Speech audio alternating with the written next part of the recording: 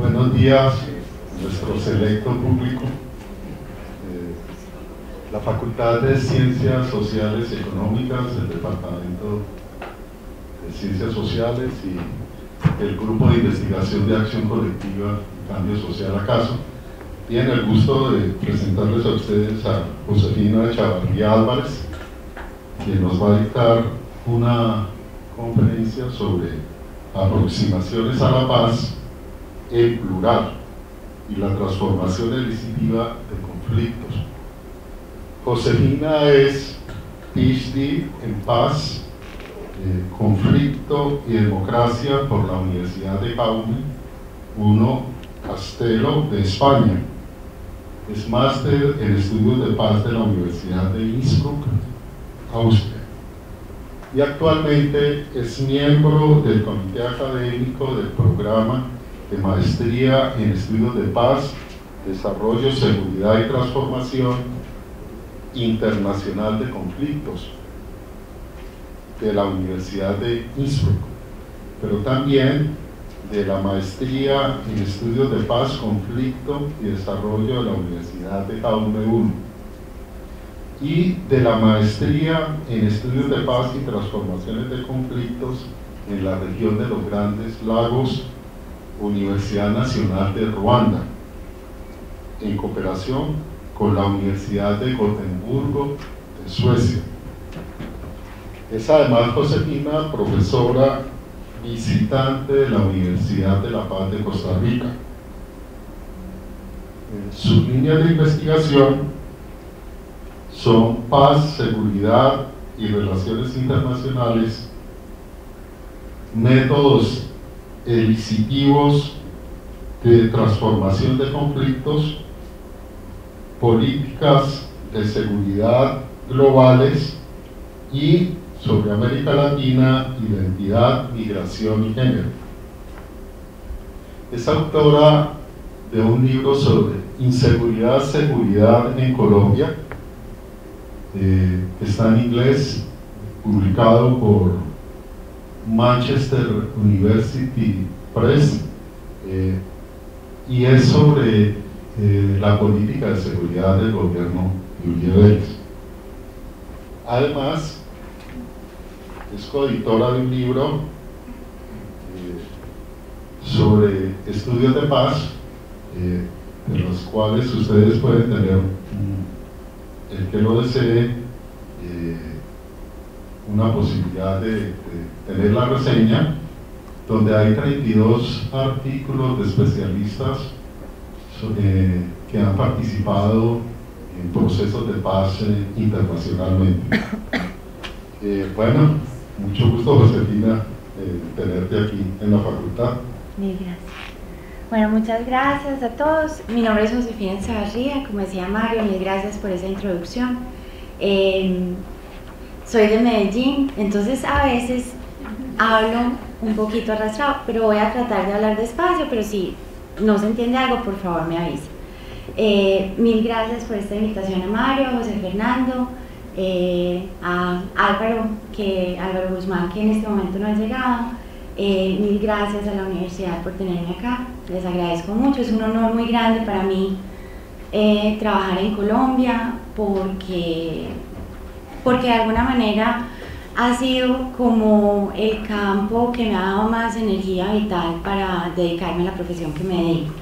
Entonces hoy les quería proponer que yo les daba como un impulso inicial, voy a tratar de que sea por ahí de una hora o algo así, sobre las tesis principales de las aproximaciones a la paz en plural y la transformación elicitiva de conflictos y me gustaría mucho que al final tuviéramos la posibilidad de discutir, de conversar, pues ya que somos pues un grupo tan selecto, realmente como que haya una participación por parte de ustedes sería para mí un gran honor también. Entonces, em, voy a reorganizar. Tengo que usar el micrófono. Pues, ¿Sí? Bueno. Eh, no sé si lo quieras poner ahí. Listo. Ah, para, así el micrófono. Sí. La. Bueno. Entonces devolvamos esto por acá. Listo. Bueno, eh, el título de la charla, como Mario les decía, son las aproximaciones a la paz en plural y la transformación elicitiva de conflictos. Básicamente, la idea es que tengamos la posibilidad de ver como ese mapa conceptual de diferentes familias de paces, que nosotros, y aquí tenemos, pues, eh, muy amables, me han dejado colocar eh, la ficha de la maestría donde yo trabajo en Innsbruck, en Austria. Básicamente nosotros tenemos una propuesta, ¿sí? Y es que hay tantas formas de entender la paz y de pensarla y de imaginarla como hay seres humanos en el mundo, ¿sí? ¿Eso qué quiere decir? Que esa propuesta conceptual de cinco familias de paces, primero que todo son categorías ideales, ¿cierto? Es decir, nunca encontramos una categoría de paz que, se, o sea, que sea 100% igual, pues, o que quepa 100% de manera perfecta en esa categorización. Y al mismo tiempo encontramos una cantidad de experiencias de paces, de ideas de paces, de arreglos de paces que toman elementos de diferentes familias. ¿sí? Estas eh, las hemos clasificado en concepciones energéticas, morales, modernas, posmodernas y transracionales. Y como les decía, es una propuesta de un mapa conceptual a partir del cual nosotros hemos desarrollado, digamos que con base en las propuestas de un investigador norteamericano que se llama Jean Paul que ha trabajado muchísimo en Colombia, pero también en Centroamérica, en África, en este momento está trabajando en la reconstrucción post-conflicto en Nepal, esa idea elicitiva de transformación de conflictos. ¿Eso qué quiere decir? Básicamente que si no hay una única forma de entender la paz, no puede haber una única forma de construir la paz. ¿sí? Entonces, ¿qué nos interesa a nosotros como investigadores de paz o como estudiosos del tema de paz? Como crear una serie de derroteros que nos permita intervenir o facilitar un sistema en conflicto de manera tal que ese sistema recobre, recobre ese equilibrio dinámico natural. ¿sí? Es decir, intervenir en un sistema en conflicto para que con esa intervención, con esa fuerza que viene desde afuera, pueda el sistema reequilibrarse. Es pues, obviamente, como podrán eh, deducir, una aproximación sistémica. Eh, entonces, yo les traigo aquí como esta figurita del mapa. ¿Por qué? Porque eso es básicamente la filosofía de esta, de, pues de, esta presentación. ¿Eso qué quiere decir? Claro, a mí el mapa, si a mí, yo llego al aeropuerto de Cali y me entregan un mapa de Cali, eso no es Cali, ¿cierto? Es lo mismo. A mí estas ideas me sirven como un compás, como una guía, ¿sí? Para que yo pueda orientarme para que yo como investigadora, como facilitadora, como mediadora, tenga idea de cuál es el siguiente paso que debo dar, ¿sí? Pero no es un manual. Entonces, con esta idea del mapa, el mapa pues me muestra a mí la cartografía del terreno, pero no es el territorio, ¿sí? Yo tengo un plano del auditorio, pero es esto, pues, este es el auditorio, ustedes son las personas que están acá yo no puedo pensar que ese mapa son ustedes, ¿sí? Entonces, quiero contarles un poquito como cuál es la perspectiva desde la que yo hablo. Básicamente yo, como decía Mario, yo estudié Relaciones Internacionales en el, en el externado, pues soy de Medellín, estudié Relaciones Internacionales en el externado, pero me especialicé trabajando en, proyectos de desarrollo en el área de agua potable y saneamiento básico. Trabajé con el Ministerio de Desarrollo Económico, que ya no existe, y trabajaba como consultora del PNUD y del Banco Mundial. Y durante un tiempo en Santa Marta, en la costa, trabajando con esos proyectos. Y esos proyectos de desarrollo, de alguna manera, siguen esa idea prescriptiva de lo que es la, el buen vivir, de alguna manera es decir, hay unos manuales, hay unos requerimientos técnicos, etcétera, y a, pesar de que se ha tratado de incorporar una cantidad de filosofías bastante respetuosas de la otredad, siguen siendo proyectos en los que hay muy poco espacio para la diferencia. Y yo terminé estando demasiado insatisfecha con ese trabajo y así es como llego yo a la maestría en estudios de paz y desarrollo. Y en los últimos años me he especializado en comprender las políticas de seguridad básicamente del Estado. Es decir, ¿qué pasa cuando nosotros buscamos la seguridad en nombre de la paz? Y mi tesis fundamental es que la seguridad crea más inseguridad. ¿Sí? Es decir, que la búsqueda de seguridad lo que hace es recrear unas identidades políticas prácticamente absolutas, excluyentes, que terminan creando y recreando el miedo que hace que las personas desconfíen de sí mismas y de los demás mucho más y se crean situaciones de inseguridad que no son una, amenaza a las políticas de seguridad, sino que son el material del que las políticas de seguridad realmente se nutren. Es decir, la inseguridad no es de alguna manera la contrapartida de las políticas de seguridad, sino la fuerza vital de las políticas de seguridad. Y por lo tanto, desde un punto de vista ético, desde un punto de vista político, entonces, sacrificar derechos y libertades en nombre de la seguridad es una trampa. ¿sí? Entonces, he tratado de trabajar en eso y en los últimos años me he concentrado en buscar estas formas sensitivas de transformación de conflictos desde la academia y estamos haciendo un proyecto muy interesante que espero pues que lo puedan visitar en la página web el próximo año porque lo vamos a poner libre en la web que es básicamente crear estos derroteros de transformación iniciativa de conflictos que es lo que les voy a contar hoy.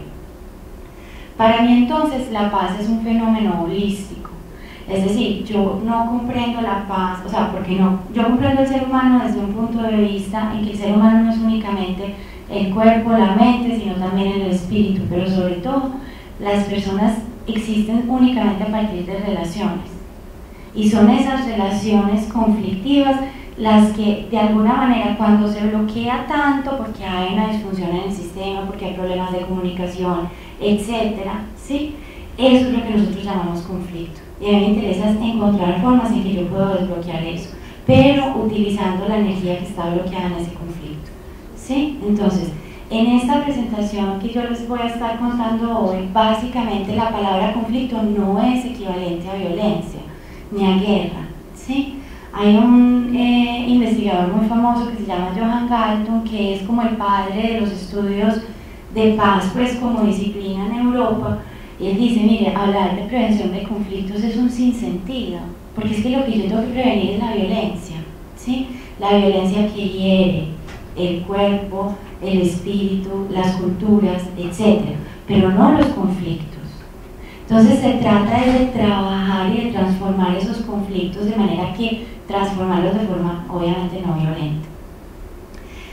Desde este punto de vista, los estudios para la paz tienen que ser transdisciplinarios, es decir, concentrarse en, de una manera pues como más metodológica, en la pregunta principal de investigación, que es cuál es el conflicto, cuál es el tipo de paz que a mí me interesa, y a partir de eso tomar todo tipo de impulsos, de metodologías, de ideas de todas las ciencias, no solamente las ciencias sociales, ¿cierto?, sino también las ciencias naturales.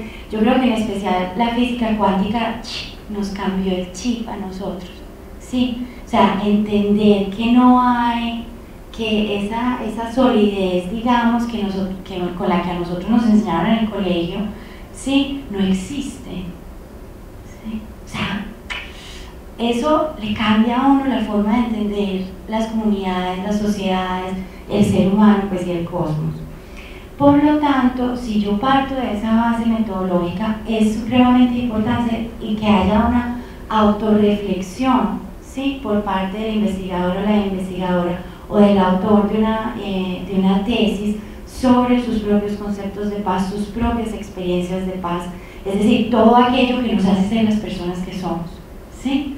Porque siempre somos seres del mundo y por lo tanto esa reflexión, digamos, ética sobre quién soy yo, cuáles son mis posiciones políticas, mis preferencias sexuales, etcétera, los idiomas, ¿sí? mis estilos de comunicación, todo eso hace que en el momento en que yo entre a un sistema conflictivo, ese sistema en conflicto cambia.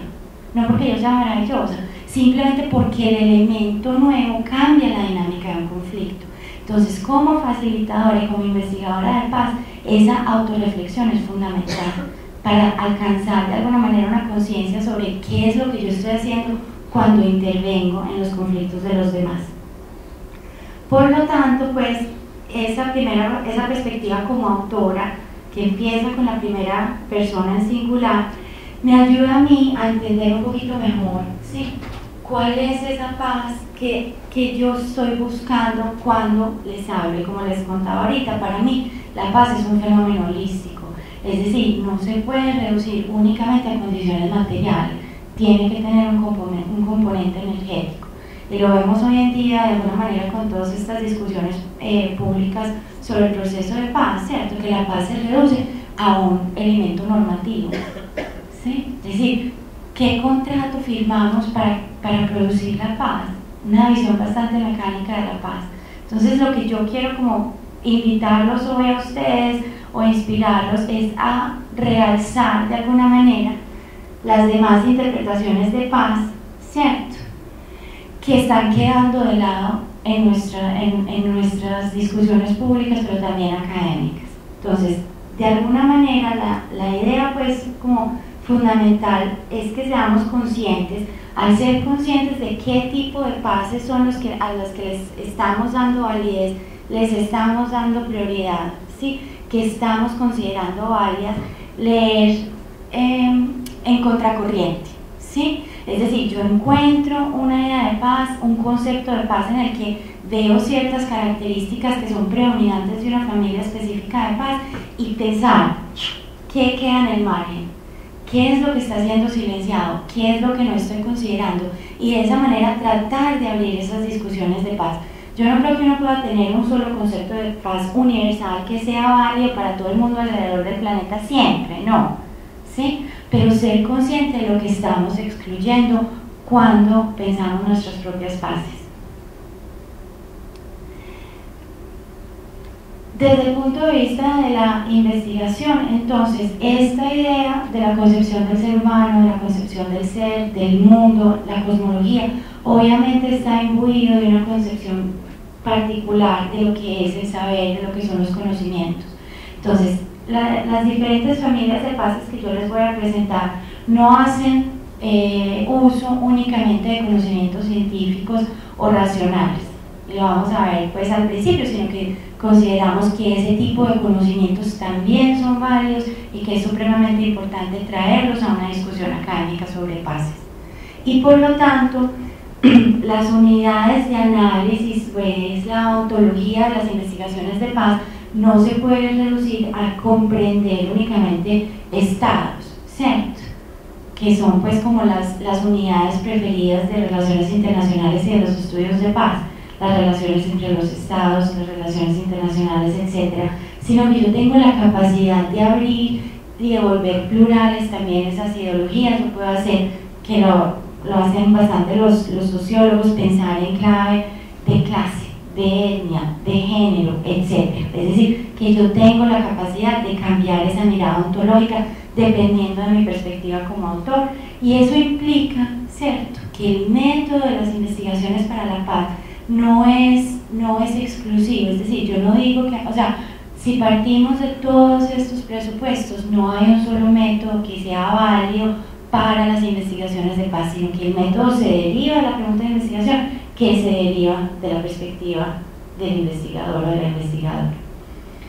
Dentro de esos métodos, que es supremamente importante, o eh, uno de los puntos principales de esos métodos de la investigación para la paz, obviamente la parte ética, pero no solamente una ética con los demás, sino también una ética con, con, con, con la propia persona.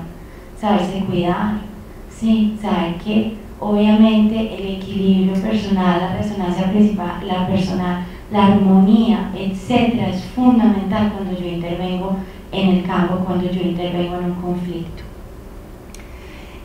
Y a pesar, digamos, de todas estas consideraciones metodológicas, eh, los estudios de paz como disciplina académica se caracterizan por ser bastante eh, modernos y postmodernos. Y ahora vamos a ver qué implicaciones tiene eso para la investigación para la paz y no se trabaja de una manera normalmente transdisciplinar, sino interdisciplinar. Es decir, yo hago una pregunta de investigación y digo, la sociología dice esto, la administración pública dice esto, las relaciones internacionales dicen esto, y yo al final trato de hilar y de entretejer esas diferentes perspectivas académicas, pero mi, mi, mi mirada de investigación para la paz no, no, no deja de lado esas disciplinas, ¿sí? Y esa es pues como la invitación, despreocuparse un poco como de esas fronteras que, que tanta ansiedad crean, ¿cierto? De defender lo que es la disciplina, etc. Eso no quiere decir que uno no pueda ser riguroso con un método, sí, pero esa rigurosidad se deriva, de nuevo, del, para mí, del interés de investigación. Y estos son como los cinco conceptos de pases en plural que yo les quiero contar hoy. ¿sí? El primero, simplemente usamos estas, estas imágenes como símbolos, ¿cierto? Porque la, mente piensa en imágenes, ¿sí? Pues, o pensamos, asociamos imágenes muy fácilmente pues con ideas y con experiencia. Eh, el primero que vemos, bueno, que de pronto les parece muy conocido, es el símbolo del yin y yang, es la idea de los conceptos energéticos de pases. El segundo, el ojo de esas fases morales que se basan en las normas absolutas. El tercero, que es como eh, la maquinita del reloj, ¿sí? La idea de esas fases modernas, mecánicas, ¿sí? Donde el conflicto es un problema que yo puedo resolver si tengo las herramientas eh, adecuadas. El cuarto que tenemos acá es el símbolo de lo que eran pues, los movimientos antinucleares, de las fases postmodernas. Y el último, que es el Sri Yantra, eh, que lo tenemos acá, que es un símbolo tantra, meditación, eh, para nosotros es el símbolo de las fases transracionales. Eso quiere decir que yo uso, yo tomo todos los elementos racionales de la ciencia moderna, científicos, etcétera, de estas fases y no los rechazo, sino que los trato de, integrar en, en, concepciones energéticas del ser y de la paz. Como les contaba al principio, esta clasificación ya parte de un supuesto y es que es simplemente una observación y es que hay más de una forma válida de pensar la paz. Hay más de una forma de entender esa paz, de imaginarla, de hablarla, de escribirla, de vivirla, de construirla, de compartirla y también que se acabe, ¿cierto? Porque vamos a ver, pues que tratar de, sentar en un contrato eh, inamovible lo que puede ser un arreglo de paz termina, termina siendo tan rígido que no deja que las relaciones pues se desarrollen de una forma orgánica y muchas veces los acuerdos de paz terminan siendo obstáculos para realmente las vivencias y las construcciones de paz. Em, por lo tanto, la, la, idea principal pues, es que esa, ese uso que nosotros hacemos en el día a día de las paces eh, en plural, pues la idea es que realmente lo vamos incorporando en nuestro pensar, ¿cierto? Que de pronto mis concepciones de paz, mis ideas de paz, mis experiencias de paz no son necesariamente las del otro y ahí empezamos a quebrar un poquito de alguna manera esa tendencia a veces que puede ser bastante autoritaria a crear consensos. No necesariamente porque los consensos sean malos en sí mismos, pero yo pienso que las tendencias de violencia, por lo menos en, en, en, en las situaciones que yo he se derivan mucho más de las tendencias autoritarias y del miedo al disenso, precisamente por ese afán de construir consensos. Bueno, eh, vamos a ver, yo voy a tratar de contextualizar un poquito entonces cuáles son esas premisas acerca de cada una de estas familias de pases para que ustedes puedan seguirme más fácilmente. La primera familia de la que nosotros nos ocupamos son los conceptos energéticos de paz. ¿sí? Estos conceptos energéticos de paz se encuentran en todos los continentes, en todos los tiempos. Es decir, es mirar, es buscar esos conceptos energéticos de paz y los vamos a encontrar siempre. Siempre están ahí conversando, entrelazados, siempre están presentes. Es decir, no nos estamos refiriendo a conceptos que sean arcaicos, que sean de sociedades premodernas o que ya hayamos superado digamos, en una línea civilizatoria. Básicamente los conceptos energéticos de paz se dirigen a relaciones armónicas entre sociedad, naturaleza y cosmos. Eso, o sea, es concisamente la idea de la paz que emana de la armonía. ¿Sí? El ser humano, entonces, en estas concepciones energéticas eh, que son cosmovisiones, ¿cierto? O sea, yo conseguir la paz de una manera diferente como consigo el ser humano y las relaciones humanas. Parten de la base de que el ser es siempre relacional. Es decir, yo no existo más allá de las relaciones que me componen. Y por lo tanto, tratar de separar ese individuo, bien sea de relaciones sociales, de relaciones con el cosmos o de las relaciones con la naturaleza, implica violencia. ¿sí?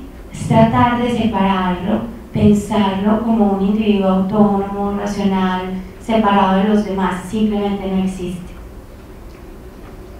Por lo tanto, ¿sí? en estas concepciones energéticas de paz, que se parte de la base entonces de que las normas que existen no son absolutas sino contextuales, no puede haber últimas verdades.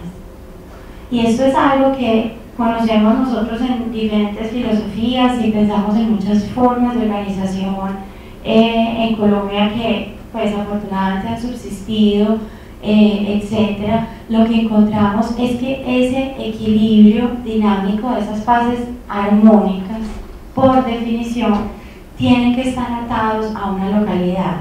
¿sí? Yo no los puedo descontextualizar. En el momento en que yo descontextualizo esa armonía, esa armonía se pierde porque la armonía solamente nace en ese contexto específico. ¿sí? Como esos contextos van cambiando, entonces yo no puedo implementar la paz desde afuera, yo no la puedo exportar ni la puedo importar, ¿sí? sino que tiene que nacer en ese contexto específico de paces al que me refiero, de esas personas, de esa situación. ¿sí? Y por lo tanto, siempre tiene que ser entendida en plural. Estos conceptos energéticos de paz por lo general nacen de la idea que hay una energía originaria. Sí, que esto de pronto nos suena bastante familiar en antropología, es la idea que hay una energía originaria que simplemente tiene una manifestación terrestre en esto, en el cuerpo, en el gordito, en el, en el perro, en lo que sea. Pero yo veo entonces en esa, esa energía originaria en todas las personas y en todos los seres con los que me relaciono. Esa energía originaria no nace de un Dios creador, ¿sí? como las bases morales. No hay un Dios creador que imputa el universo de una energía originaria, sino que esa energía originaria es de alguna manera innata al universo y por lo tanto esa energía originaria no se puede destruir, sino que se transforma. ¿sí? El universo entonces se percibe como la manifestación de ese principio energético y ese es el tipo de paz que nosotros conocemos, por eso tenemos el, símbolo de yin y yang, también en muchas filosofías orientales, y es que la paz se percibe como ese gran aliento cuando yo entro en resonancia con el gran aliento del universo. ¿sí? que parte de la base también de qué tan armónica me sienta yo conmigo misma y pueda relacionarme con los demás. Esto para, para los estudios de paz y conflictos tiene unas implicaciones muy importantes. El primero es que hay una correspondencia entre el microcosmos y el macrocosmos. ¿Eso qué quiere decir? Que aunque en mí no, en mi entender, no hay una manifestación de, de agresiones o de violencia, no hay nada que yo encuentre en los demás que me sea extraño. Todo eso por lo menos lo tengo yo potencialmente. ¿Eso qué quiere decir? Que cuando excluimos, que cuando decimos, ve, estos son los victimarios, los perpetradores, eso no tiene nada que ver conmigo. No, no, no, espérate. Desde este punto de vista, por lo menos todos tenemos esa potencialidad, ¿cierto? Es decir, ese nos otros que incluye al otro es mucho más fácil de entender si yo parto de este principio energético, ¿sí? Y por lo tanto, si yo entiendo la paz como esa armonía entre fuerzas distintas, no hay dualismo, ¿cierto? Porque yo necesito todas esas energías para crear una armonía dinámica. ¿Eso qué quiere decir?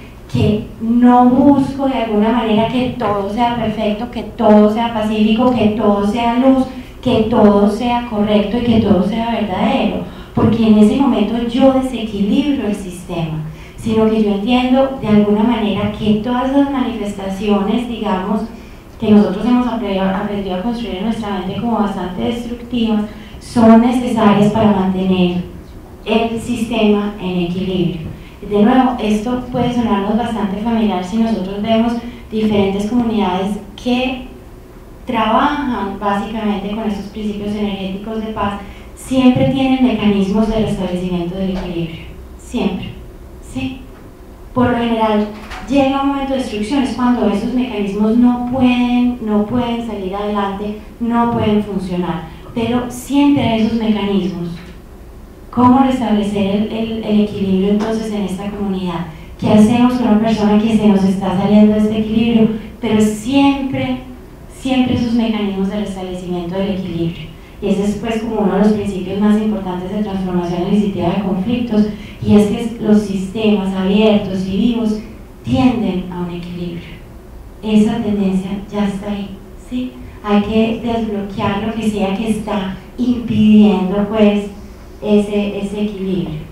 Estas fases energéticas entonces, si nosotros miramos no ya nuestros casos a las comunidades que de pronto pueden ser más familiares en nuestro contexto, sino en filosofías orientales, son un poco difíciles de comprender cuando uno ha crecido o, o tiene una cosmovisión moral o moderna e inclusive posmoderna de la vida, ¿cierto? Porque parten de la base básicamente de no intervenir y dejar pasar, del way, que se dice, ¿sí? Y es dejar pasar. ¿Eso que implica? Que las normas en estos arreglos energéticos de pases son relativas. Yo puedo tener un derrotero, pero yo no puedo tener una norma absoluta, porque la norma absoluta lo que hace es descontextualizar la norma. Y eso es lo que nos, bueno, la OCDE encontramos pues como una frase que lo resume muy bien y dice es que no te puedes apoderar del universo y mejorarlo que eso ya entra en contraria a todas nuestras ideas de progreso, de desarrollo, de modernidad idea que todo lo podemos mejorar empezando por nosotros mismos, por los demás, ¿sí? todo es susceptible de perfeccionamiento. Dice no, tú no puedes agarrar el universo y tratar de mejorarlo. Se destruye. Hay que dejar pasar las cosas y dependiendo de no estén, que tan viejos estén ustedes, no se acuerdan que es... Bueno, este tipo de pases energéticas, como les decía, tienen unas normas, no es que sean, no es que haya una anomia, ¿sí? Pero esas normas siempre son contextuales y son situacionales. Esa es la gran diferencia que vemos con esta segunda categoría de pases que son morales, que siguen siendo orgánicas, es decir, yo todavía entiendo en estas fases morales que hay, que hay una relación entre los seres humanos o la sociedad, la naturaleza y el reino de las divinidades. Pero este mundo material, aunque esté interconectado, ya no tiene esa energía originaria en cada uno de los seres, sino que esa energía originaria aparece personificada normalmente en un Dios único masculino. Es decir, las fases morales nacen de, una concepción del ser humano y del mundo en que Dios está por fuera del reino de los humanos. Dios es el creador de, de todo, del universo, y a pesar de ser un agente activo, pareciera que estuviera por encima de él. La paz entonces ya no se concibe como esa armonía interrelacionadas, sino que la paz se concibe como una recompensa ¿sí? por seguir estas normas de conducta que ha, ¿cómo se dice? que ha divulgado, que ha creado ese Dios único. Si nosotros pensamos en los diez mandamientos, es esto. Los diez mandamientos no te dicen, no matarás, dependiendo del contexto. No, no matarás, punto. Entonces lo que yo hago, ¿sí? Es tomar esas normas morales quitarles el contexto, volverlas a históricas, descontextualizarlas y decir estas son normas absolutas de conducta. Y la paz entonces es la recompensa de seguir esas normas. ¿Eso qué quiere decir? Que no es que haya una paz para todos, la paz es para los seguidores y la paz es para los creyentes. Y por eso la paz es para los hombres de buena voluntad y no para todos los hombres. Entonces, la paz se convierte en, esa, en, ese, en seguir ese código de normas absolutos que es bastante complicado, porque en la medida en que las normas no responden a la situación, esas normas se justifican a partir de experiencias violentas o traumáticas del pasado y una promesa de un mundo mejor. Pero esa promesa de un mundo mejor es en otro mundo, no es en este, no es una paz terrenal, no es una paz secular, es una paz que se promete en un mundo diferente para aquellos que sigan esas normas, ¿sí? Y para que nosotros entendamos esas normas, creamos instituciones y expertos, que son los que son capaces de interpretar esas normas para el común de la gente, ¿sí? Tenemos pues históricamente toda la creación de las iglesias, de los sacerdotes, digamos de esas figuras religiosas que son capaces de interpretar la palabra de Dios y explicársela a los demás de los seres humanos para que sigan su ley. Este tipo de normas absolutas crean unos dualismos bastante peligrosos entre lo bueno y lo malo y lo verdadero y lo falso. ¿Sí?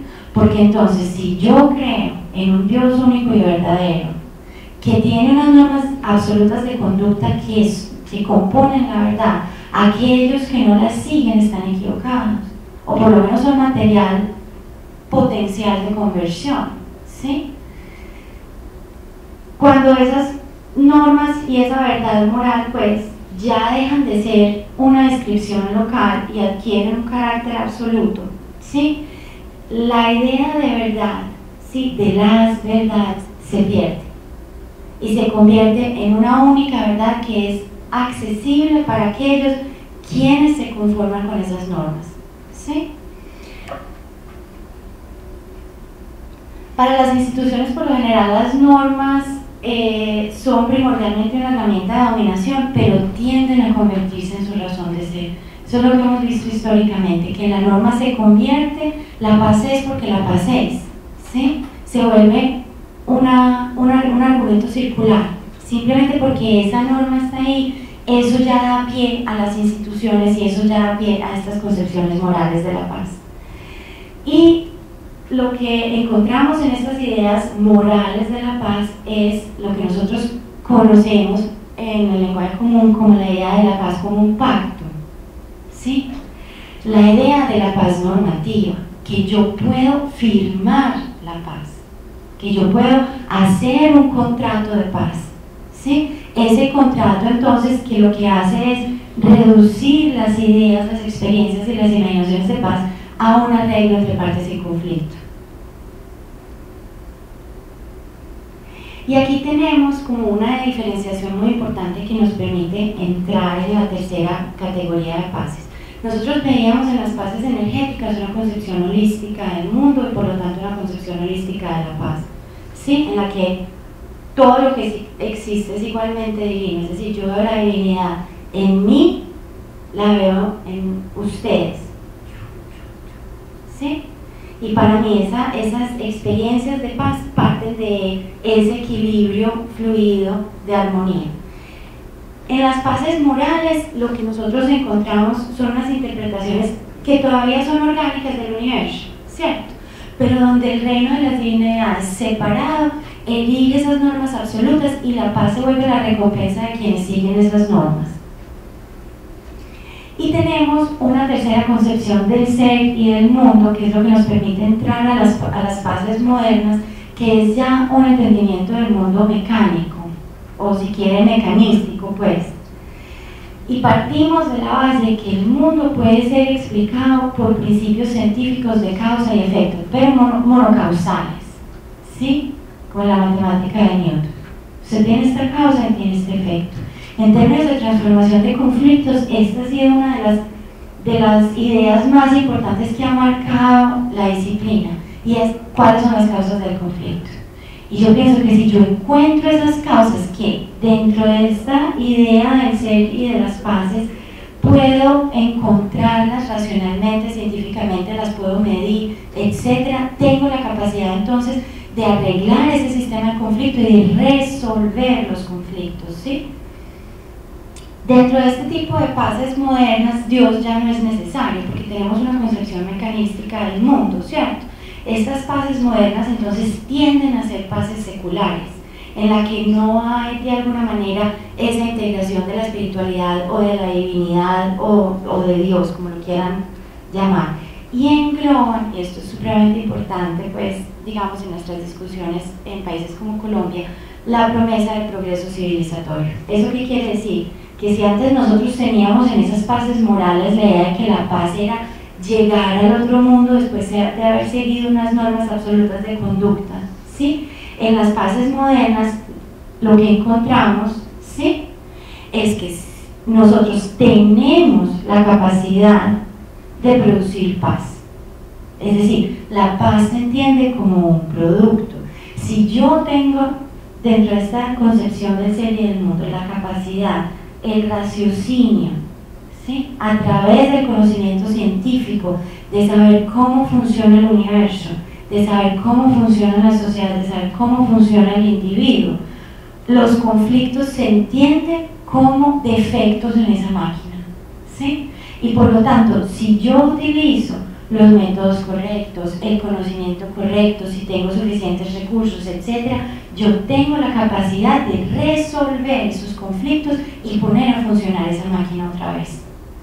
Y por lo tanto, la idea de paz es que la paz sí es producible, es producible como un producto moderno. ¿sí? Tengo suficientes carreteras, hospitales, centros de salud, no sé qué, centros educativos, tal cosa, tal otra, ta, ta, ta, ta, ta. Son factores que yo puedo medir, que yo puedo planear y que producen la paz. ¿Sí? Estas paces modernas entonces lo que prometen ya no es la paz más allá cuando nos muramos después, sino lo que prometen es la paz sobre la tierra. ¿sí? A través de el reciclaje de lo que pues, conocemos familiarmente como los discursos del colonialismo y del imperialismo. Es decir, esa idea de que todos en el mundo nos encontramos en el mismo camino, ¿sí? que todos somos iguales, que hay una línea vectoral que sale derecho, una cronosofía, que en la que vamos simplemente cada vez mejorando más. Y hay progreso, y hay desarrollo. Y lo que dejamos atrás es algo arcaico, es algo bárbaro, y vamos en esa línea de desarrollo hacia arriba en la que obviamente no estamos todos en el mismo nivel, sino que hay unas sociedades que van más adelante porque tienen mayores conocimientos y tienen una mejor moral, que era la idea de Kant, ¿cierto? Kant decía, yo alcanzo ese progreso, yo soy capaz de mejorar la condición humana a través de, la de las instituciones morales. Eso es lo que me ayuda a mí a ir eliminando cada vez más esa irracionalidad del, del del hombre animal, por así decirlo, y vamos incrementando esa racionalidad que es donde yo encuentro la idea de los intereses colectivos y de organizaciones pues más desarrolladas. Por lo tanto, esa creencia en el progreso, en la ilustración, en el desarrollo o en la civilización, como queramos llamarlo, es la que le da, de alguna manera, es el motor de esas fases modernas. Esta paz aparece frecuentemente concatenada con temas, por ejemplo, el tema de seguridad. Estas paces, de alguna manera, entonces, al estar entrelazadas con esas ideas de universalidad, de desarrollo, de progreso, de civilización, que parten de la base de que todos somos iguales alrededor del mundo y que vamos en la misma línea de desarrollo, quitan el contexto, descontextualizan, ¿cierto? Eh, la creación de esos inventos, de esa modernidad científica, etcétera, de su historicidad, y lo que tratan es de disfrazarla de universalidad.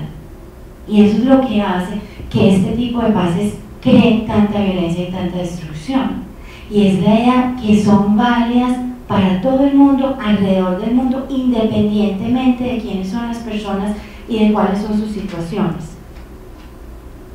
Nosotros estamos hablando aquí de lo moderno, no, no como un periodo histórico. Esto es fundamental. Lo que estamos hablando es sobre todo de un estado mental, es una forma de entendernos. ¿sí? No es decir, la modernidad viene de aquí a acá, de allá a acá, de tal periodo a tal periodo, en tal época, en tal lugar, sino es una forma, perdón, es una forma de entendernos, es una forma de entender el otro, pero sobre todo una forma de comprender esas nociones de paz, pues. Y es lo que encontramos históricamente también aunado a la idea del Estado-Nación, ¿sí? es decir, la idea de la paz nacional, la idea de que el Estado es el que provee las condiciones de seguridad y bienestar para que haya una paz. Sin el Estado-Nación no hay paz, sin esa figura. ¿sí? Lo vemos en corrientes realistas, entonces el Estado leviatán, que hay que, como decía Hobbes, el gobierno tiene que crear tanto miedo en las personas, el miedo que sea mayor al que ellos le tienen a los demás para que obedezcan las leyes. ¿Sí? Entonces, tenemos diferentes variaciones de eso, pero finalmente la idea es que este tipo de bases se crean dentro de estas esferas o estas unidades ¿sí? que eh, nos hemos creado y que vemos cómo cambian, ¿cierto? Las fronteras cambian todo el tiempo, la composición cambia todo el tiempo y hay una gran, digamos, una gran cantidad de violencia que se invierte en mantener esas fronteras y en mantener la población homogénea o en volverla homogénea, ¿sí? A partir, digamos, de esto es lo que nosotros concebimos en las fases modernas como, por eso les decía, estas fases modernas son de las más comunes en estudios de paz y conflictos. Básicamente son las que sostienen, perdón, para servirme agüita.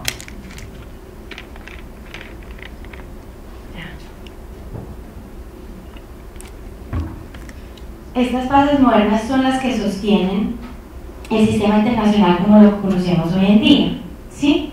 Es decir, que hay un mundo, esta era la imagen, no sé si ustedes se acuerdan, que fue muy importante pues hace tres o cuatro décadas cuando por primera vez se pudo tomar una foto desde el espacio del mundo, ¿sí? Y se volvió un símbolo para todos los movimientos ecológicos, porque es decir, es que mira que sí estamos en el mismo planeta, pues lo que hagan los demás interfiere y nos, y, nos eh, impacta y nos influye directamente, ¿sí?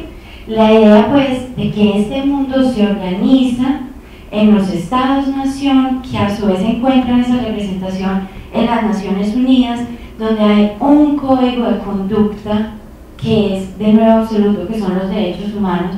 Y aquí no estoy diciendo que los derechos humanos no, no, no, no sean unos buenos derroteros, pero digamos que la reducción de la dignidad humana a los derechos humanos por lo general también ha traído una expresión sistemática de violencia frente a sociedades, a comunidades eh, que se organizan distinto y eso no quiere decir que no respeten el ser humano.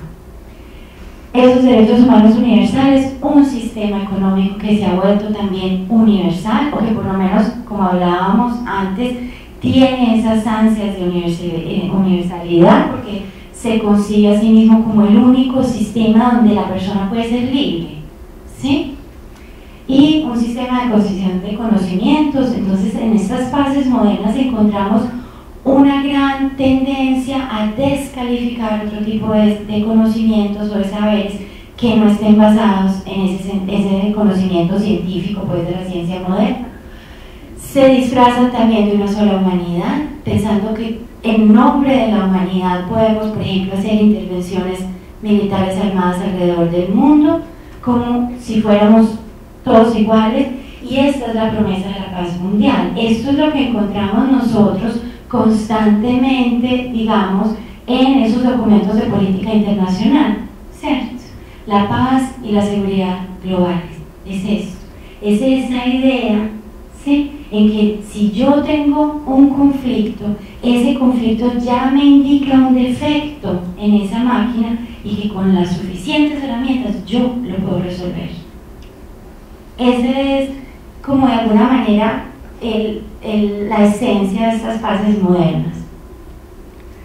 Estas fases modernas han creado una cantidad de resistencias, ¿sí? no solamente desde el punto de vista filosófico, sino también práctico. Y aquí encontramos esa cuarta familia de paces que también nos puede sonar bastante familiar pues, en nuestros oídos, que son las paces postmodernas.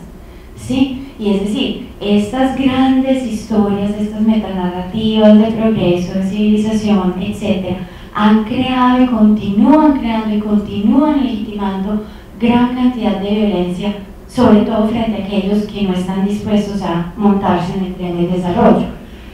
Eh, Ivan Illich es originalmente un austriaco que fue el fundador del CIDO, del Centro eh, Intercultural de Documentación en Cuernavaca, en México, en los 70 y él tiene una frase muy bonita que dice, mire, la guerra tiende a ser semejantes a las culturas, eso es lo que hace la guerra, mientras que la paz es la condición en que cada cultura florece en su propia e incomparable forma.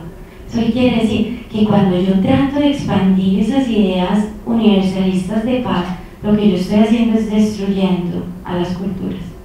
Yo lo que estoy haciendo es quitándoles esa diferenciación, quitándoles ese pluralismo en nombre de la paz. Y él decía, claro, es que el enemigo número uno de la paz son los discursos y los proyectos de desarrollo, que tratan de volvernos a todos iguales. ¿sí? Y Rich decía, la paz es como la poesía, o sea, cada cultura tiene una creación de poesía diferente. Y esa expresión única es lo que hace que este tipo de bases postmodernas, ¿sí? celebren esa multiplicidad sin proponer una gran narrativa que sea mejor a las bases modernas. ¿Por qué? Porque filosóficamente es una contradicción. Yo estoy diciendo, mire, son estas grandes narrativas de la historia del ser humano, de la civilización, del progreso, lo que ha creado tanta violencia alrededor del mundo. ¿Qué resistencia? ¿Cómo me siento yo provocada? Decir, un segundo, en este contexto nosotros tenemos una forma diferente de entender la paz. Pero entonces, si yo sigo esa, esa corriente, esa línea de pensamiento, por definición mi paz no puede ser válida para otros entonces, este tipo de propuestas posmodernas de pases tienden a ser bastante pequeñas, porque dicen, no vamos a proponer otra metanarrativa ¿sí? que sea aplicable en otros lugares, en otros contextos. Eso es precisamente lo que nosotros nos abstenemos. Eso es precisamente lo que queremos evitar. Entonces, tienden a permanecer muy pequeñas, locales y se nutren a partir de ese contexto. Son bastante transitorias e inestables, es decir, en estas expresiones de bases postmodernas no encontramos, como ya les contaba, esa, esa aspiración a ser universales y sobre todo esa aspiración a ser duraderas. Es decir, listo, pues encontramos dentro de, en este contexto, en este momento, en esta comunidad, etcétera, una experiencia de paz, una situación de paz, pero sabemos que en el momento en que tratemos de volver eso una norma absoluta, la vamos a destruir. De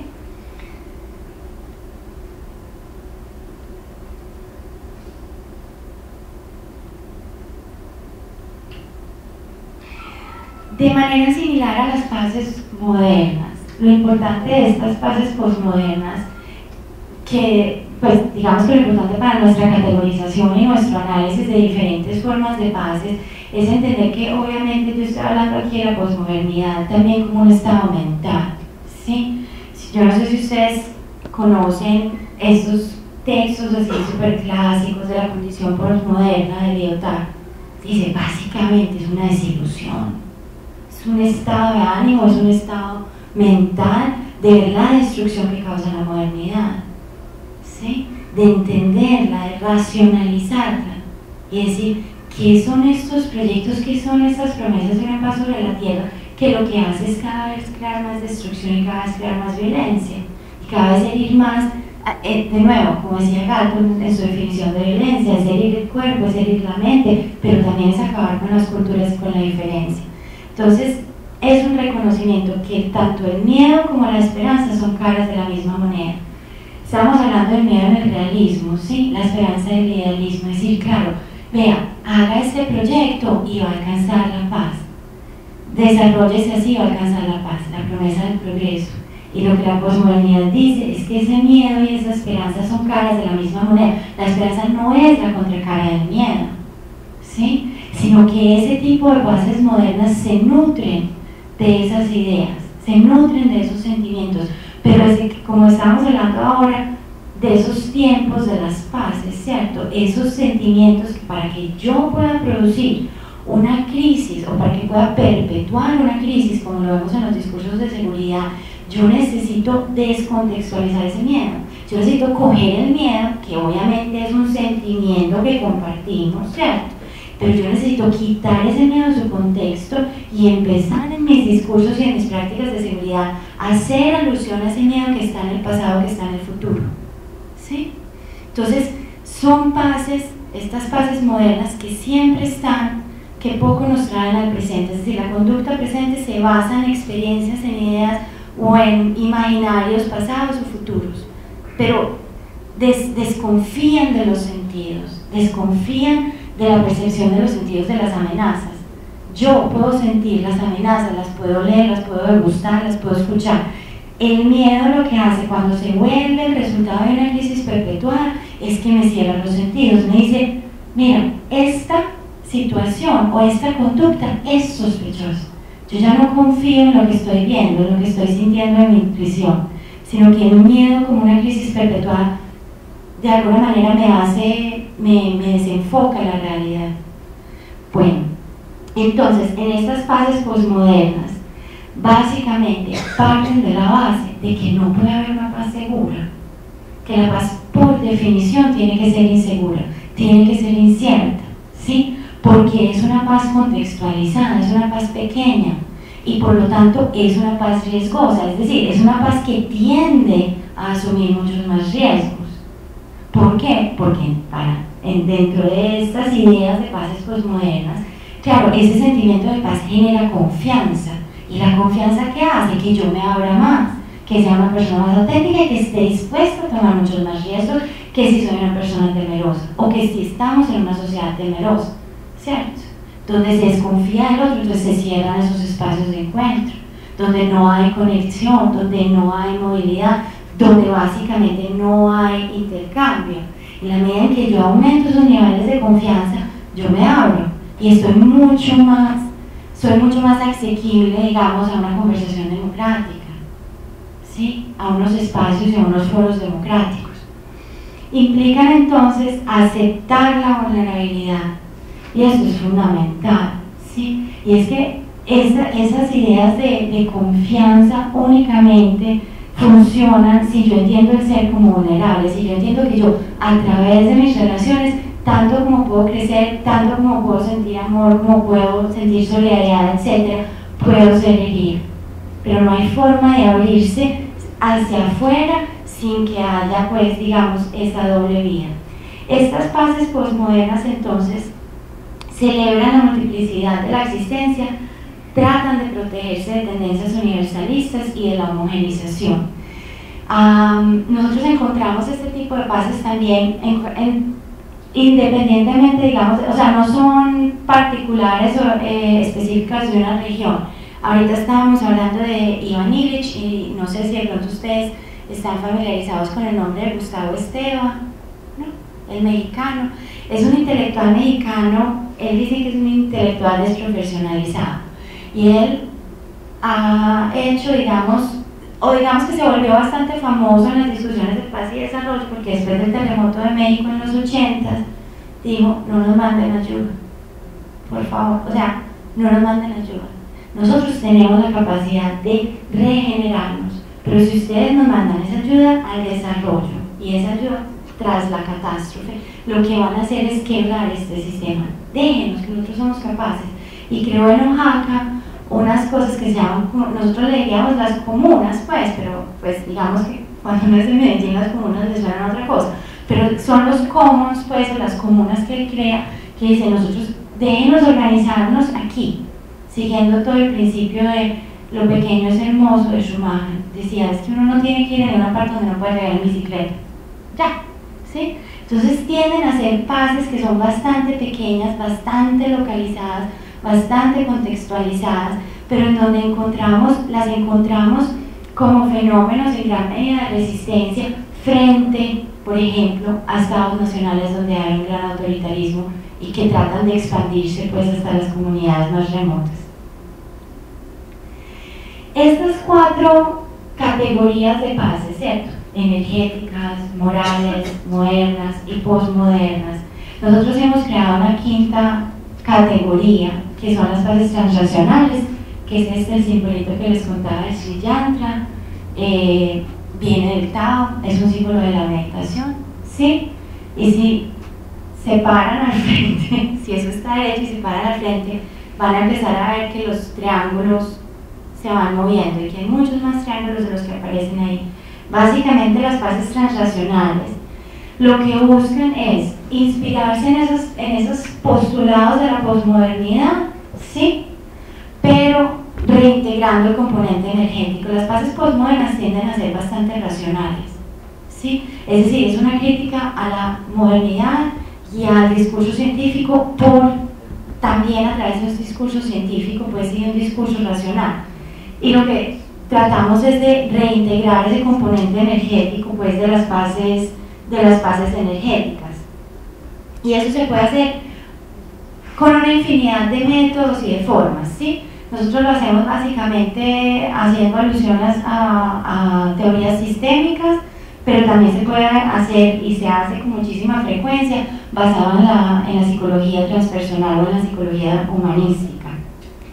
La idea fundamental es, es tener, ¿cierto? Es reconocer que fundamentalmente la paz sí emana de la energía, eh, de la armonía, pero no se trata de superar lo moderno, sino tratar de reintegrarlo, tratar de incorporarlo en esas... Eh, en, esa, en esas concepciones pues, de la paz y por lo tanto incluye todo lo racional. Es decir, no es una, una negación, no es un rechazo de lo racional, de, de, la cientificidad, sino que tratan de incorporarlo. Es tratar pues de volverlo eh, de, en, una, en una idea de paz, ¿sí?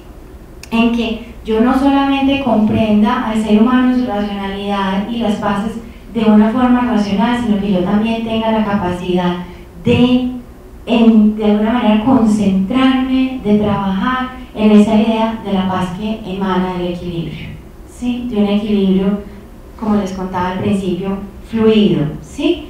Entonces, esas aproximaciones transnacionales a la paz las encontramos comúnmente, como les decía, en ideas transpersonales que se derivan de la psicología humanística, ¿sí? en aproximaciones sistémicas que se derivan de la física más nueva y la teoría de sistemas, que es lo que vamos a ver al final, pero también las encontramos muchísimo en, en las teorías sobre la ecología profunda de Gaia, ¿sí? que se hizo muy famoso con este tipo Gregory Bateson, que lo que hacía realmente era ser un asesor eh, por ejemplo, empezó en Chicago y él pensaba, listo, yo cómo entiendo esta ciudad como un sistema, como un sistema ecológico y empieza a mirar, digamos que todos esos sistemas de la naturaleza y a partir de eso dice, tenemos que trazar las vías de la ciudad y tenemos que buscar esos puntos de conexión, de movilidad, de encuentro, etc. También hay una cantidad de pases transnacionales que encontramos en aproximaciones eh, espirituales, de nuevo que no, no monoteístas, ¿sí? Pero en una gran cantidad de filosofías tanto orientales como, como occidentales también y muchas otras. Realmente nosotros no, no o sea, en esas fases transnacionales, eh, lo importante de esas diferentes perspectivas es ver cómo comparten una cosmovisión holística pero ninguna de estas perspectivas se considera fundamental. Es decir, yo puedo encontrar esas aproximaciones transnacionales a la paz en una infinidad de perspectivas, de experiencias.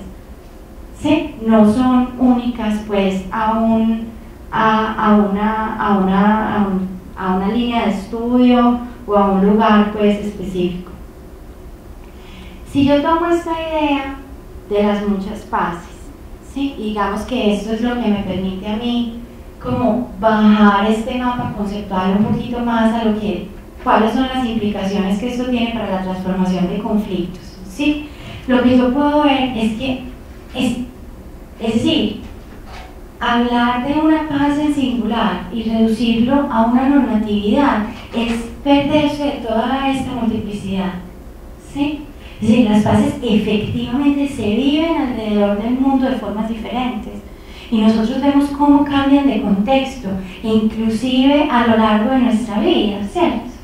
Decir, lo que era la experiencia de paz cuando yo tenía 5 años eh, puede ser completamente distinta a la que tengo hoy. Eso no quiere decir que esa paz que yo sentía anteriormente ya no sea válida. Claro que fue válida en su momento y en su contexto, ¿sí?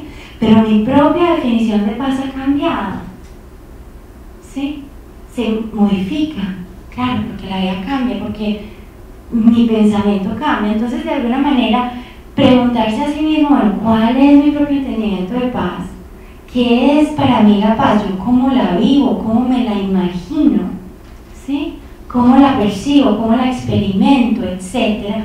No, ese, ese, hacer ese acto en el camino y pensarlo es fundamental.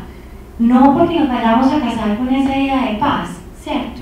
No porque esa idea de paz, no porque esa noción de paz que nosotros tengamos sea perpetua, sino porque es importante cuando nosotros nos, nos, ponemos a trabajar en temas de paz, cuando encaramos conflictos, saber quién es el que interviene, quién es el que está investigando, ¿sí? Bueno, en, esto desde el punto de vista para nosotros práctico, ¿qué implica? Que cuando yo estoy en una situación conflictiva o cuando yo llego a un sistema de conflicto porque me han llamado para que facilite algo, para que intervenga, ¿sí? Yo trato de enfocarme en el epicentro de ese conflicto y no solo en el episodio. En el episodio es, digamos, pues un término que se ha acuñado en estudios de paz para entender cuál es la narrativa del conflicto. Es lo más superficial del conflicto. Entonces yo les pregunto a ustedes, bueno, cuéntenme el paro agrario. el paro agrario son estos y los otros y están peleando por eso y eso es lo que ha sucedido y eso es lo que está haciendo el gobierno, está haciendo el gobierno. Y esto pues, o sea, en esa, en esa, en esa pequeña narración es lo que a mí me da el episodio del conflicto. ¿Sí? Que por lo general incluye las causas, los actores y las relaciones entre los actores. Inclusive si es, digamos, el, el artículo en el, en el periódico siempre leo quiénes son ya. No necesariamente que esos sí sean los verdaderos actores del conflicto, pero en la narrativa del conflicto, ¿cuáles son esos actores?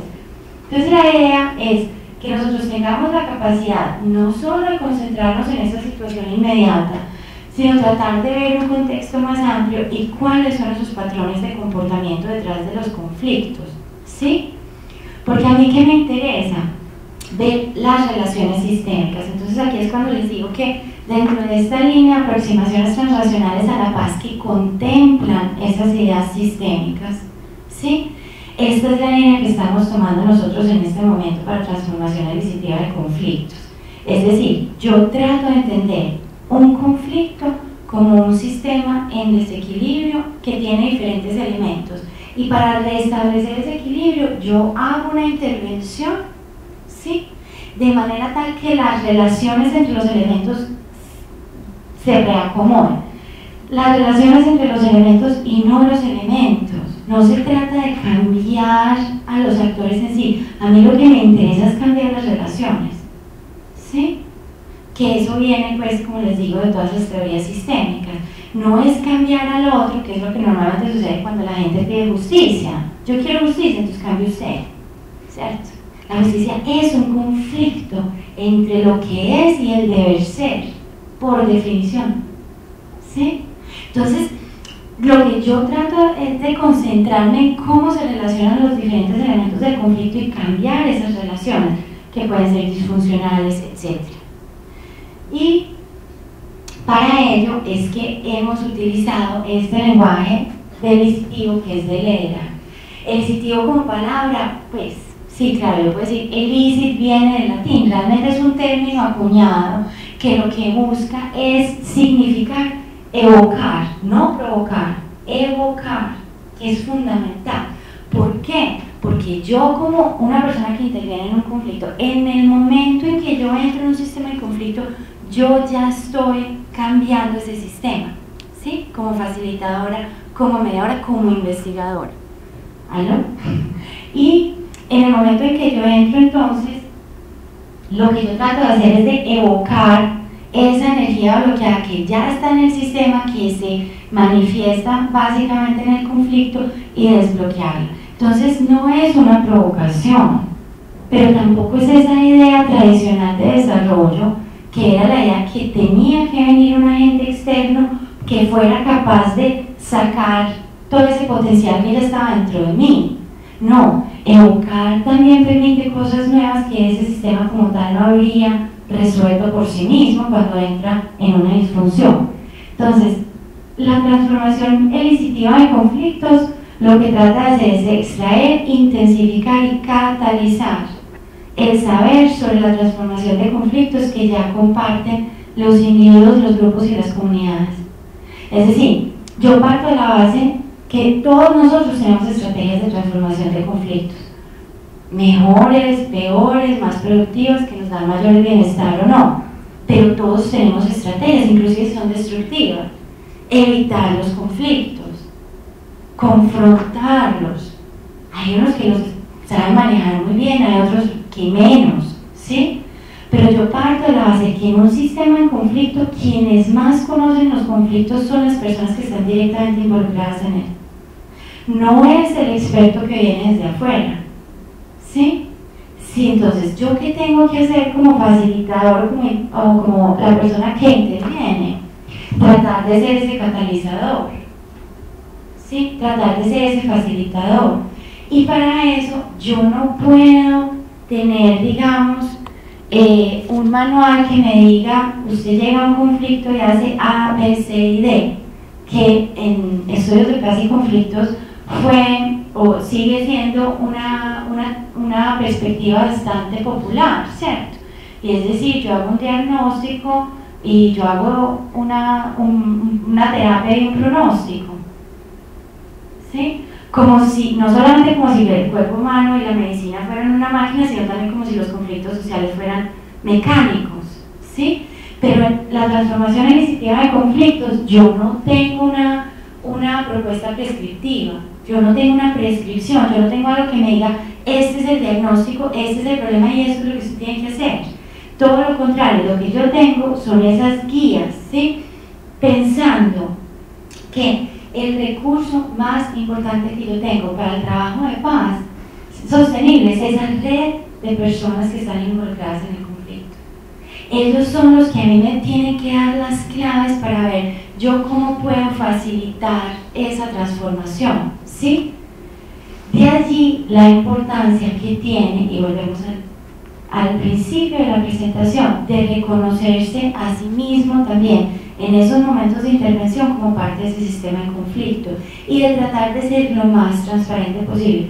No neutral, ¿por qué? De nuevo, porque partimos de la base de que ese conocimiento científico, ese método científico que nos decía nosotros, usted como investigador, tiene que ser neutral, tiene que ser imparcial, tiene que ser objetivo. Es que yo no puedo, es que yo soy un ser del mundo, ¿sí? Entonces, ¿qué me interesa a mí para trabajar los conflictos?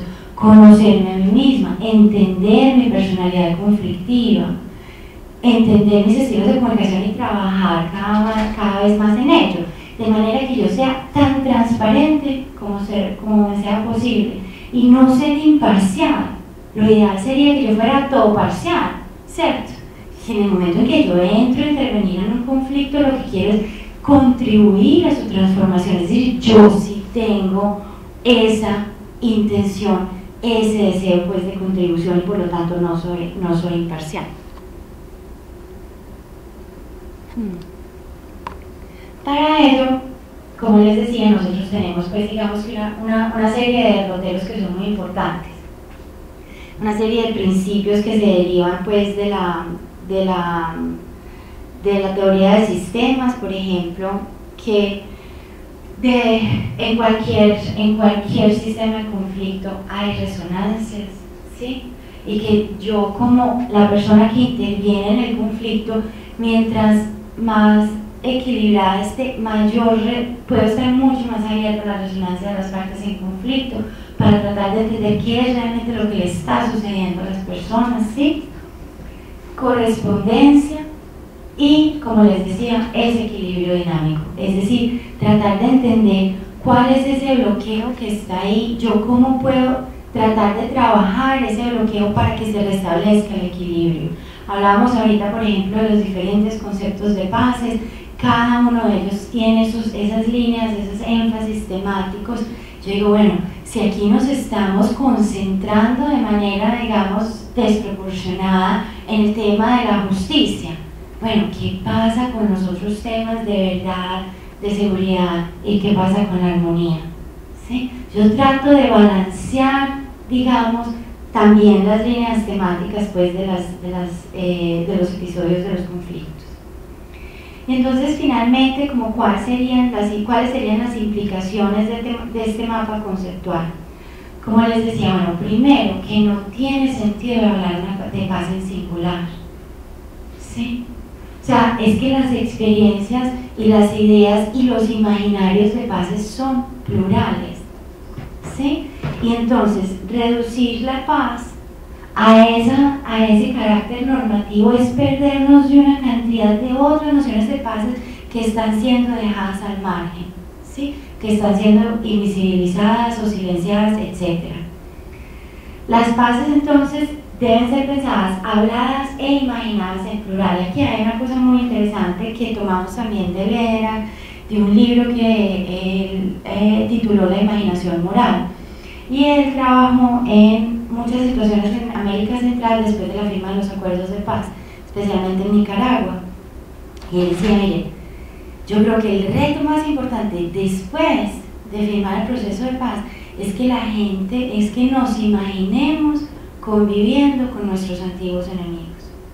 Ay, ya. Es, es imaginarnos eso. O sea, sin ese cambio en la imaginación, ¿cierto? Es muy difícil que una paz normativa tenga una realidad social. Entonces, la imaginación es supremamente importante. El hablar de ese tipo de paz el hablar de la reconciliación, que es no solamente un acuerdo jurídico, no es solamente un acuerdo del derecho a la verdad, la justicia y la reparación. La reconciliación es básicamente esa paz que de la armonía. Yo como reconcilio, yo como vuelvo a a restablecer esos lazos que se han roto. ¿sí? Entonces no puede ser únicamente un compromiso material. Y digamos que esa es como las dos eh, conclusiones finales de, de, esta, de esta presentación. ¿sí? Es decir, que yo tengo que tratar de encontrar que esa armonía tenga tenga unos compromisos materiales y que tenga de alguna manera una base material que nos permita a nosotros relacionarnos de una manera más pacífica. ¿sí? Y esto es a lo que van las orientaciones de transformación iniciativa de conflictos. Es decir, a tratar de buscar ese mapa, esos derroteros, ¿sí? que empiezan por la primera persona singular, es decir, tiene que haber un ejercicio de autorreflexión de los investigadores, de los estudiantes, de los profesores, de las personas que van al campo, que se van a las comunidades. Y decir, bueno, ¿yo dónde estoy? ¿Cuáles son esos conceptos de paz que yo veo que son predominantes en mi forma de entender el mundo, de pensar y de hablar? ¿Cuáles son esos conceptos de paz que yo veo que están aquí en juego? ¿Sí? Entonces, bueno, ¿cuáles son los énfasis temáticos? ¿Qué nos está faltando? Yo cómo puedo, como una persona que interviene en un sistema conflictivo, lo que yo hago es tratar de dar un impulso, bien sea a través de las líneas temáticas, etcétera, a través de los actores que estén en juego, ese impulso que permita ese restablecimiento pues, del equilibrio del sistema. Y ya con esto termino el impulso inicial y bueno, les agradezco mucho por su atención y espero pues que podamos conversar si tienen preguntas, comentarios, eh, ideas, bienvenidos.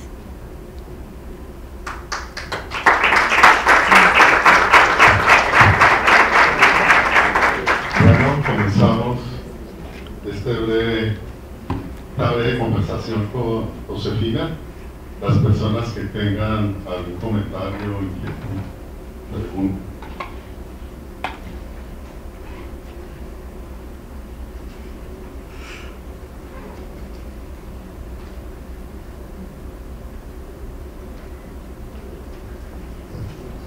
No, eh, a ver, eh, en primer lugar, digamos, pensaría que la propuesta que usted hace, digamos, trans, transnacional es más bien una propuesta pragmática. Aprovechemos lo bueno de las diferentes opciones, eh, modelos anteriores y tratemos de ponerlos a funcionar, no ignorarlos, sino aprovecharlos. Y me parece interesante por ese lado, pero me queda un poco la duda siguiente. Es, muy bien, se nos plantea un modelo, digamos, de intervención, donde interviene, tiene que ser un facilitador, etcétera, etcétera, y tiene que dejar un poco que digamos, la gente recupere, evoque, ¿sí? elicite, digamos, esos elementos que ya estaban presentes en ella para recuperar el equilibrio. Bien, puede ser así, pero quisiera que nos narrara, por ejemplo, un ejemplo donde una intervención de ese tipo ha funcionado, de donde esa pragmática ha dado resultados adecuados y ha llevado a un determinado nivel de paz o de equilibrio. ¿Alguien más?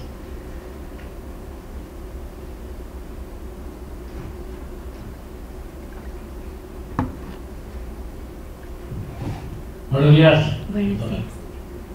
Usted, cua- eh, usted que hace una estudiosa de los conflictos de paz en este país, en este país nuestro, por Colombia, ¿cuál sería la solución definitiva para tener una paz verdadera?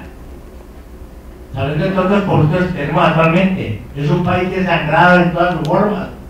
Entonces, ¿cuál sería la solución para ello?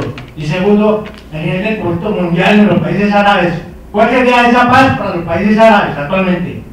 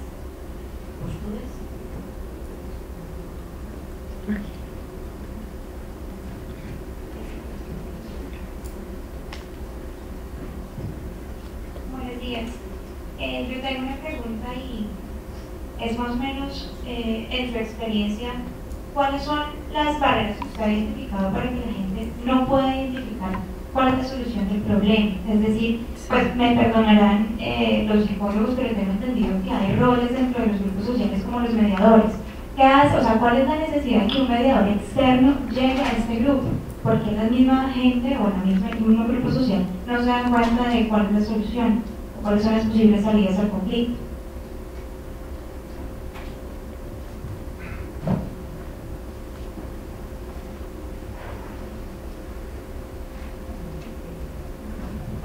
Buenos días.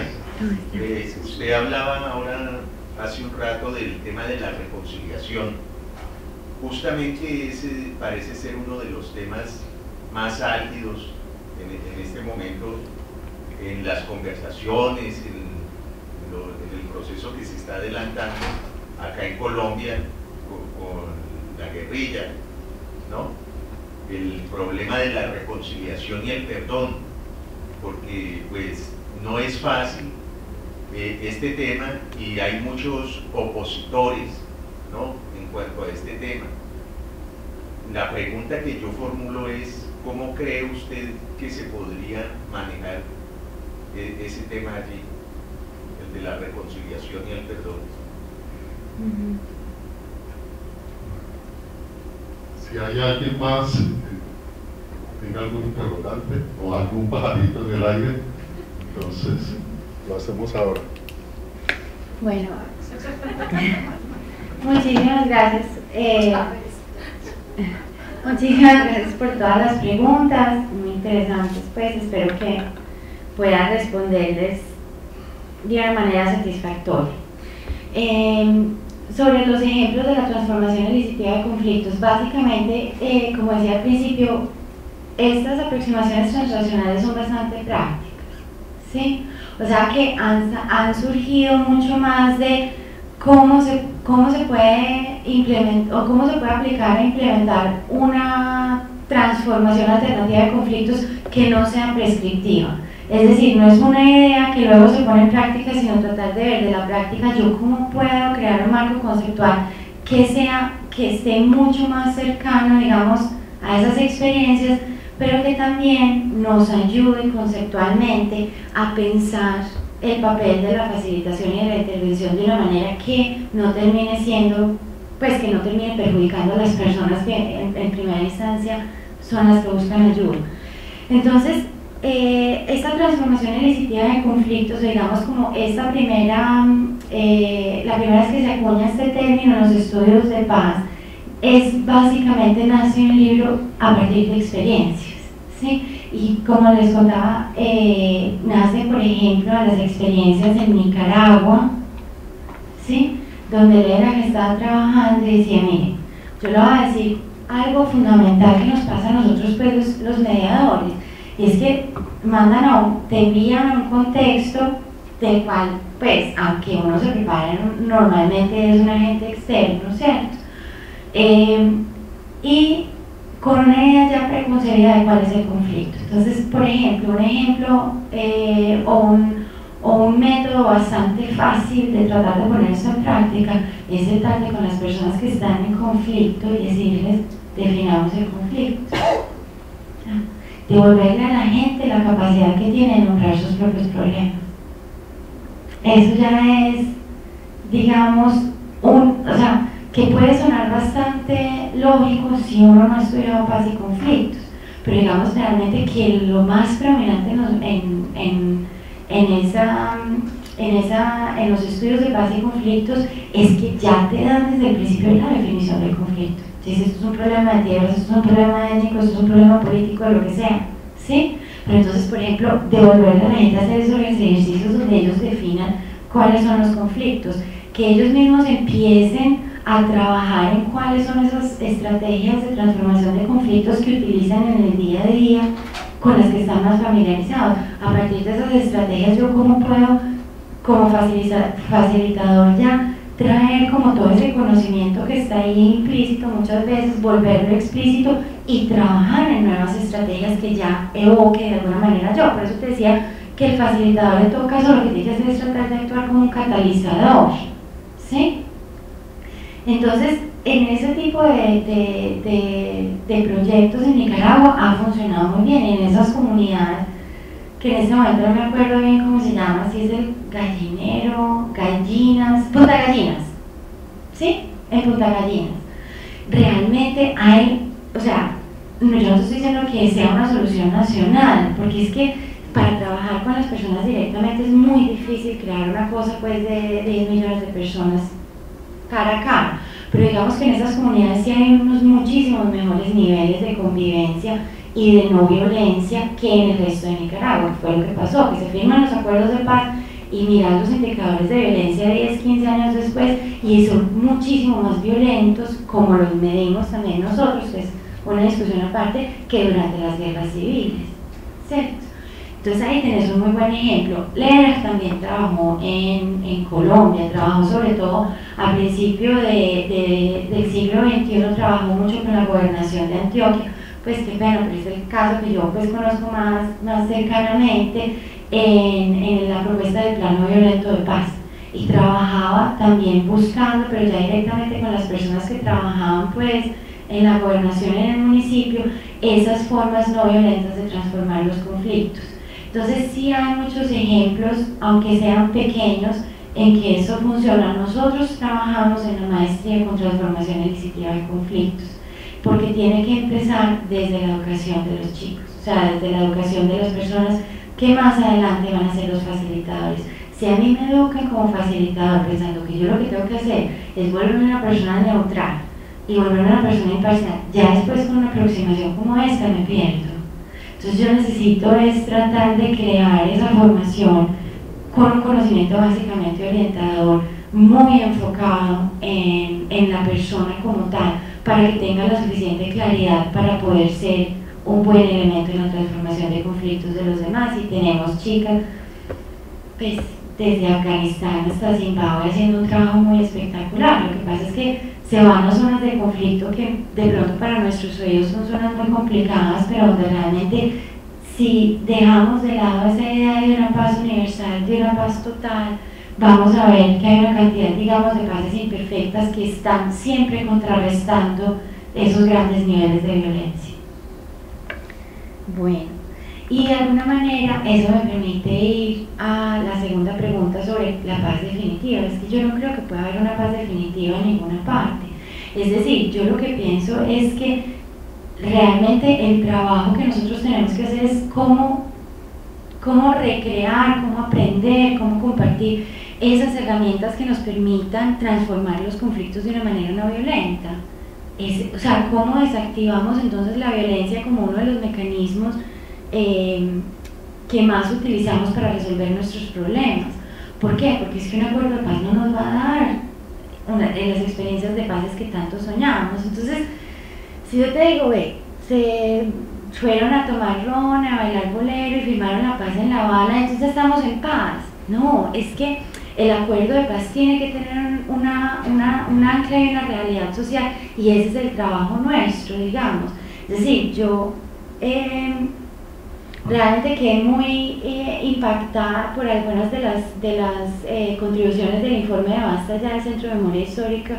Decían, mire, la gente que critica tanto esas negociaciones de paz no viven bajo el fuego cruzado.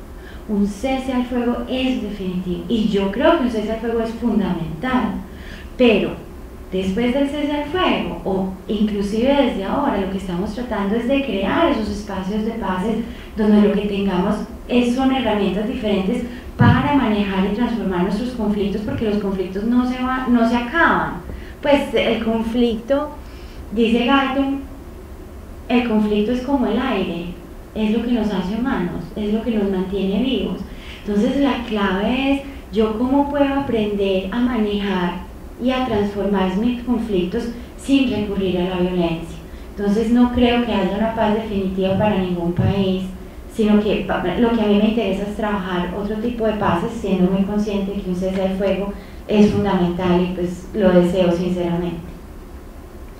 Y sobre las posturas del grupo de investigación, yo no sé, no estoy muy segura si entendí bien la pregunta, pero digamos que independiente, o sea, esta propuesta, por eso les decía al comienzo, yo que, ¿cuál es la presunción o qué asume ya este tipo de propuestas conceptuales?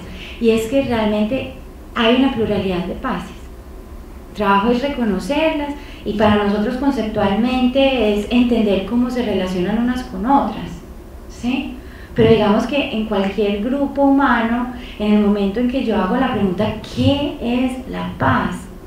Para usted, personalmente, sus experiencias, sus vivencias, sus deseos, sus anhelos, sus sentimientos, sus experiencias corporales, sus ideas, su política, ¿sí? En ese momento, yo hago eso con un ejercicio en un grupo de personas, yo ya tengo una pluralidad de paz. Entonces, si yo estoy en un grupo de investigación y hago ese ejercicio, voy a encontrar no solamente muchos elementos en común, sino probablemente muchos elementos disímiles. Desde un punto de vista metodológico, eh, ¿qué me interesa a mí? Ser consciente de alguna manera de todo ese bagaje, ¿cierto? De esa mochila que yo llevo, que, es mis, que son mis propias creencias, mis propias ideas, mis propios entendimientos de paz, mi, mi experiencia profesional, etcétera, y cómo eso marca mi, mis relaciones con las otras personas cuando estamos en una situación conflictiva, para tratar de ser, de nuevo, lo más transparente posible, para tratar de ser la mejor catalizadora en un sistema de conflicto. Pero yo no creo que haya que salir a buscar pluralidades de paces porque están aquí. ¿Sí? Eh, sobre la pregunta que estabas haciendo, ¿por qué, ¿por qué entramos en conflicto? Lo más importante que, pues, que entendí de tu pregunta que sería como para mí un, un, punto clave es entender que obviamente no hay ningún grupo humano que esté aislado. ¿Cierto? Es decir, que si yo parto de la base de que yo estoy buscando, digamos como desde el punto de vista analítico, yo estoy tratando de entender un conflicto, ¿cierto? Estoy tratando de ver cuáles son, como decíamos, el, el, el, recurso fundamental de ese trabajo de paz son las relaciones entre las personas que están en ese conflicto. Entonces tratar de ver cuáles son ese tipo de relaciones, qué es lo que está pasando ahí, pero no teniendo un grupo aislado, porque es que no existe. ¿sí? Entonces, no es tratar, o sea, mientras yo más entienda lo que hablamos, mientras yo más entienda ese episodio del conflicto, tratando de mirar el epicentro, es decir, no solo la situación inmediata, sino el contexto más amplio, yo creo que vamos a encontrar esas conexiones que permiten entender, bueno, que me dan pistas a mí para entender, bueno, dónde están aquí realmente, dónde puedo yo tratar de, de, catalizar e, esa energía pues que está bloqueada para que, para que salga de ese conflicto. ¿sí? Y sobre la reconciliación que me preguntabas. Básicamente, a ver, hay, hay, hay, dos cosas que yo pienso y, y que son, que las estoy pensando, o sea, que no son pues como conclusiones. Lo primero es que yo pienso que las experiencias de reconciliación, de nuevo, son experiencias que van mucho más allá de lo material y lo jurídico. Es decir, nosotros miremos, entonces este es el segundo punto, pues en este país hemos tenido muchísimas reintegraciones de salmes y, y, e intentos de reconciliación y varios de ellos han sido exitosos. Pero, ¿qué no nos permite verlo? Yo creo que en gran medida es esa idea de una paz válida, única, nacional, universal. ¿Por qué? Entonces, hay una serie de investigaciones muy importantes eh, que buscan, por ejemplo, a los desmovilizados de los 90 y por lo menos a las mujeres, en especial conozco a las de mujeres excombatientes, ¿sí? Diciendo, bueno, ¿usted qué está haciendo hoy? ¿Cómo le fue con ese proceso de reintegración? ¿Cómo le fue con ese proceso de reconciliación? Entonces yo creo que tenemos una cantidad de experiencias de las que podemos ya sacar lecciones y decir, ve, esto nos sirvió, esto no nos sirvió, estos planes de reintegración.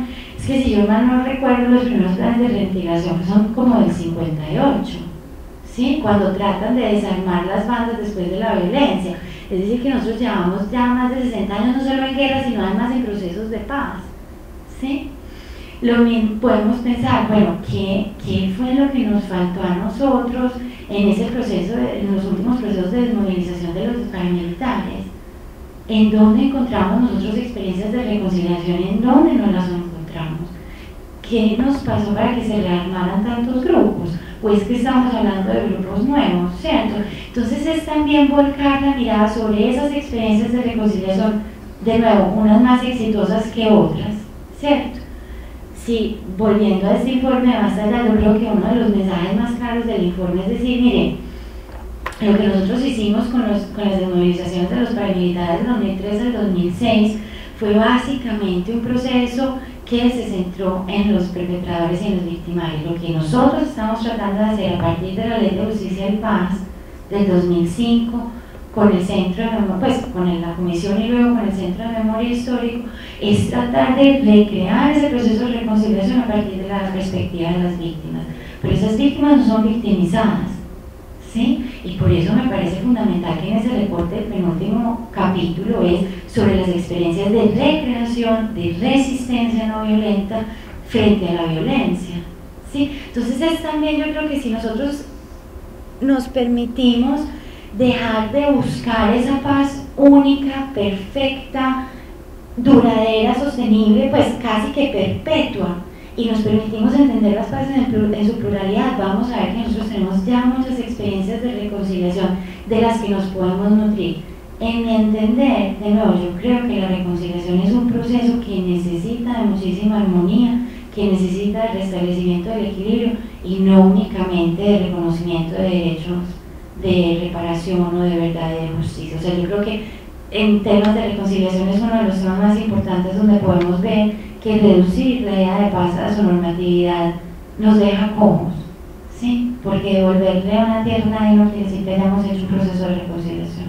Entonces es un ejemplo, yo creo que fundamental para que nos invite a pensar cómo podemos incorporar estos diferentes entendimientos y conceptos de paz, ¿sí? De manera que esta vez nos vaya mejor. pues eso espero yo. Muchas gracias. ¿Hay alguien más que desee intervenir en la conversación? El Señor. Sería muy importante que usted como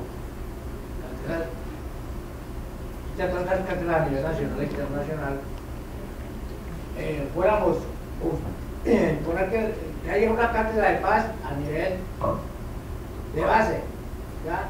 escuelas, colegios, universidades, código. Sería muy importante eso, me gusta inquietud. Sí, ahí puedo decir. Sí, claro. Mira, ve, yo creo que en cualquier ciudad de Colombia donde usted vaya hay iniciativas de paz. O sea, Colombia es el país del mundo con mayor, con más número de movimientos e iniciativas de paz y de no violencia. Pero es eso, es entender eso. O sea, cuando hablamos del plan de no violencia, es que un plan de no violencia donde además hayan ganado la gobernación, es que eso es, nunca lo hemos oído nosotros en la vida, por Dios. Entonces, encontramos una cantidad de esfuerzos de educación para la paz. De nuevo, yo conozco el, el, pues el caso de Medellín mucho más de cerca, pero por ejemplo lo que está haciendo el Observatorio de Seguridad Humana en Medellín es precisamente trabajando desde las comunidades y crearon la figura del eh, investigador comunitario. ¿Eso qué quiere decir? Que los investigadores que hay allá sobre paz y seguridad de conflictos no son únicamente personas de la universidad que van a, a recrear los proyectos, ¿cierto? Sino que son investigadores de la comunidad a los que obviamente con los que hay un intercambio académico donde hay entrenamientos, etcétera, pero son personas que están tratando de facilitar esos procesos de paz y reconciliación estando en el sistema en conflicto y al mismo tiempo siendo los investigadores. Entonces, me parece muy importante el punto que está haciendo y yo le invitaría más bien a encontrar esas iniciativas, ¿sí? Porque yo pienso que eso también nos permite pensarnos de una manera eh, más, más compleja, no solamente como un país puramente violento y con una cultura muy violenta, sino también un país que resiste de manera no violenta con muchísima frecuencia. Muchas gracias. ¿Alguien más? Una última. Bueno, muchas gracias por haberse hecho presente en este inicio de semestre.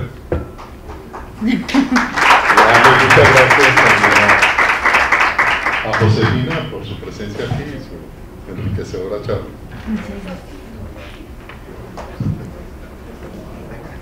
Mario, pero usted no va a poner las imágenes.